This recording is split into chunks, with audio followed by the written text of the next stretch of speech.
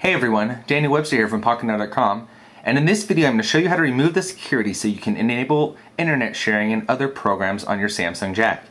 So I'm going to show you that I hard reset the device and give you a little demonstration of how internet sharing will not work now over MediaNet. So as you can see we can't scroll down and select the MediaNet. And this particular device has a two-tier security so it's going to take a few steps to remove the security on this Windows mobile device.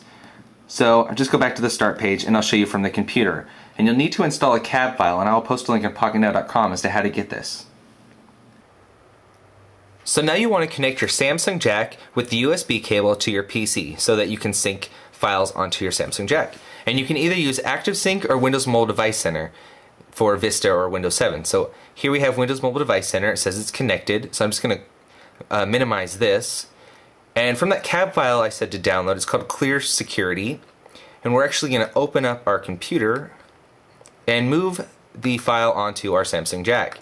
So just find a place where you'd like it. Um, I'm just going to choose My Documents, maybe in My Sounds or something like that. So I'm just going to move it over.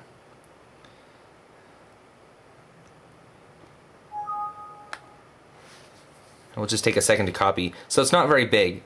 And now and now you want to install this clear security from your Samsung Jack.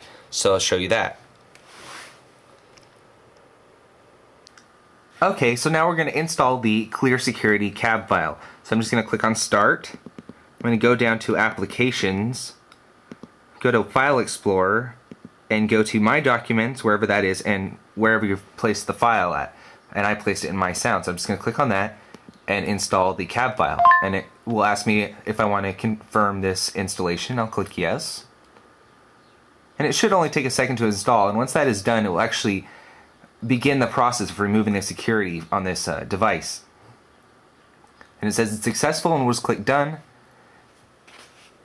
Okay, so now I'm going to show you how to remove the security from your Samsung Jack using Security Configuration Manager. And that's a Microsoft download. And I'll just post a link on PocketNow.com as to how to get that. So as you can see with the device connected, we're actually going to use Security Configuration Manager to turn the security off. And it may state that the security is off already, but it doesn't allow you to edit the registry still. So we're going to provision this and it's going to install a cab file to your to the Samsung Jack. You might have to look on your device and it will say the a tool.cab was successfully installed on your device. So then just click done and now it'll allow you to change the registry. So we can close this. Okay, so to enable internet sharing after our security is all off on the Samsung Jack, we will need to use a registry editor program. And I'm just using Mobile Registry Editor, and I'll post a link how to get this. And you can also use Total Commander, whichever one you choose. And so you'll want to start by going to Local Machine and expand that. It'll connect to the device. Go down to COM, expand that one, go down to internet sharing and click on settings. Now from here you want to force cell connection. You see this? Force cell connection. You want to actually right click and delete this.